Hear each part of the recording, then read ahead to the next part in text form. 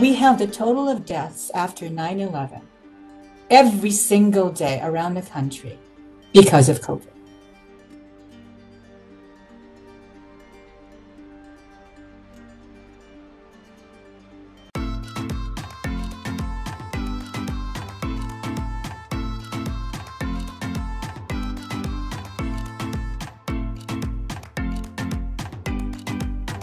Having the knowledge that I do have regarding how these vaccines were developed and manufactured, I am completely confident that they are safe.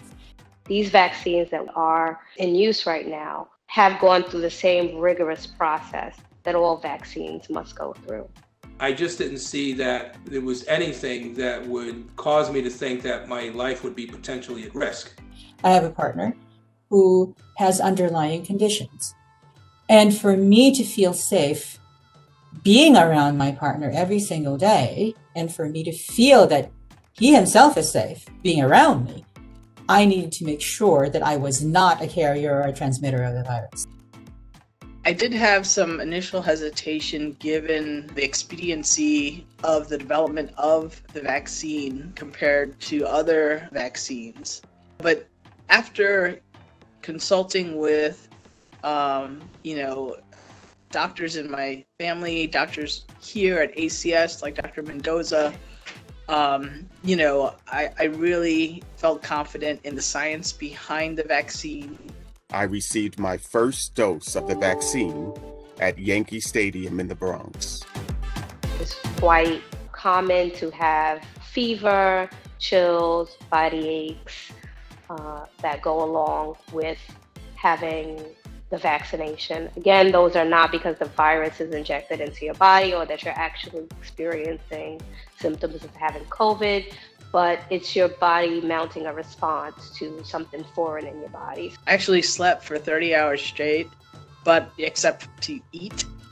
Nobody died, not a single person who participated, and they were talking about at least 40,000 people who participated in those clinical trials died compared to how many people are dying every day because of an infection. Even people that survive end up having everlasting challenges based on their experience of having COVID. And it's not just about an, your own um, risk, but every time you risk getting infected with COVID, you also risk infecting or transmitting the infection to somebody else. And it could be someone who's close to you. It could be somebody who lives with you. It could be someone that's, com- that's completely indispensable in your life.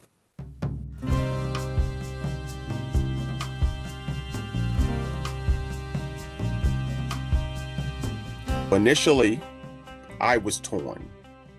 I'm just using the example of the Tuskegee experiment was a great example for us to look at and for us to say, hey, should I trust?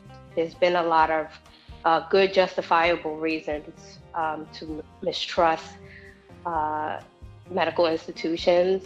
I just fear that um, we don't take the opportunity to really look at the credible uh, information. I have spoken with um, many people um, and, and by the way, I consider myself to be a person of color. Um, and they have said to me, there's enough reliable information out there. Um, and it's coming from a very diverse group of people, right? These aren't folks who are predominantly white telling us, you must do this and this is why.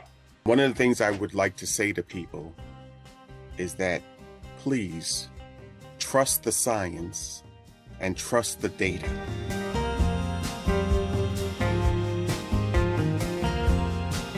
The vaccine will help us get closer to normal, um, but we're not quite there with removal of the mask, even if you're vaccinated. Uh, what the s- studies have shown is that the efficacy is mostly to um, contracting the illness or se- having severe illness. So it's not 100% that you won't obtain the illness, but you won't have the severe side effects of the illness. So if you are asymptomatic and contract the illness, then you can still spread it to someone else. So I still wear face coverings, I social distance, I wash my hands. That is how we slow down the development of those variants, those scary variants that we keep hearing about. Viruses mutate, but given the less chances for them to go from one person to another, you give fewer chances for them to mutate. We want to be around each other. I miss, right, the relationship that I have with my frontline staff. Being able to sit in a room with them, being able to socialize with them, being able to learn from them, and them to learn from me. All that I miss that you can achieve working virtually. So if we want to get to that place, we got to make hard decisions around doing what we need to do to make that happen. And that means the social distancing, the wearing of masks, and the vaccination. Wanaku hotium pacham shugai kamau.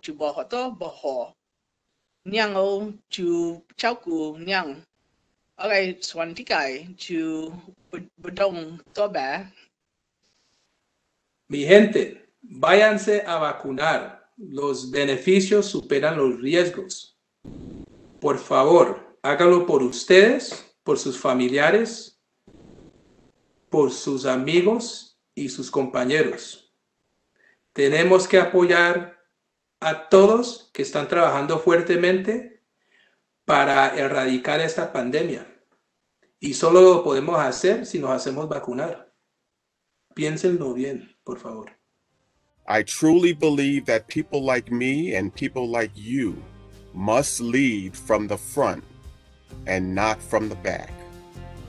This difference is what makes a strong and credible messenger that others will follow. So I'm asking each and every one of you to answer the call, which clearly asks that you act today to be vaccinated.